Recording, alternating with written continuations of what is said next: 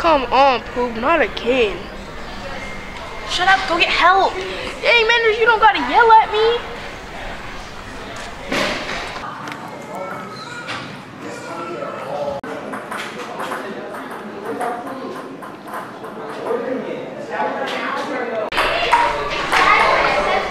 What do you want, kid? What's your name? Shut up. I didn't ask for that attitude. I'm gonna ask you again. Shut up. Kid. Where are your manners? Oh, she's over there picking up poop. Excuse me.